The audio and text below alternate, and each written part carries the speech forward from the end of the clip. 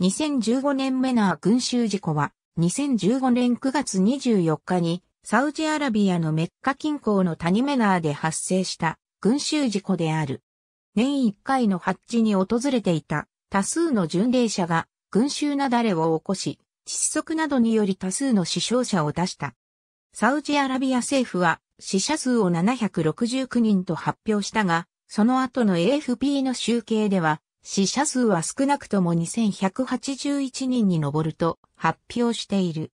1990年7月2日に聖地に向かうトンネル内で1426人が圧死した事故を上回り、メッカ史上最悪の群衆事故となった。事故現場周辺の地図、ジャマラート橋に向かう途上で発生した。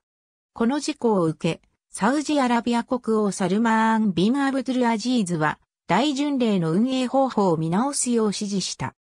事故の犠牲者には多数のイラン人が含まれていたため、イランの指導者、アリー・ハーメネイは、サウジアラビアに対して責任転嫁や他者の非難をしていないで、サウジはまず責任を認め、全世界のイスラム教徒と遺族に謝罪すべきだとして、謝罪を要求した。メッカでは13日前の2015年9月11日にもカーバ神殿があるモスク、マスジドハラームにクレーンが倒れ、107人が死亡した事故が起きたばかりだった。ありがとうございます。